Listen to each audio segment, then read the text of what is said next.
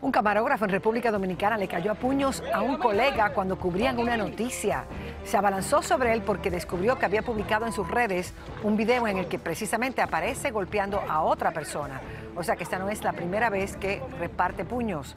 Tras la pelea, sin embargo, los ánimos se calmaron y ambos siguieron trabajando como si nada.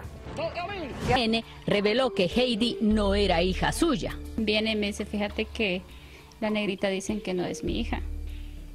Entonces vengo yo y le dije, tú estás loco.